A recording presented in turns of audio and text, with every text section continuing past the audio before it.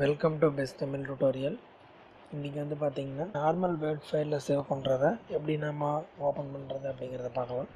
அதாவது பார்த்தீங்கன்னா நீங்கள் வந்து two thousand seven two thousand ten two thousand thirteen அப்படிங்கிற எம்எஸ் ஆஃபீஸ் வந்து யூஸ் பண்ணீங்க அப்படின்னா நீங்கள் சேவ் பண்ணுறப்ப டிஃபால்ட்டாக வந்து அந்த ஃபார்மேட்டில் தான் சேவ் ஆகும். அது வந்து பார்த்தீங்கன்னா வேறு கம்ப்யூட்டரில் ஓப்பன் ஆகாது. அது ஓப்பன் ஆகிறதுக்கு வந்து அது ஒரு சாஃப்ட்வேர் இருக்குது அந்த சாஃப்ட்வேர் இன்ஸ்டால் பண்ணிங்கன்னா உங்களுக்கு ஓப்பன் ஆகும். அந்த சாஃப்ட்வேர் பார்த்தீங்கன்னா நான் கீழே ஒரு லிங்க் கொடுத்துருக்கேன். அந்த லிங்க்கு போனீங்கன்னா இந்த மாதிரி ஒரு பேஜ் ஓப்பன் ஆகும். அது வந்து டவுன்லோடு கொடுத்துக்கோங்க.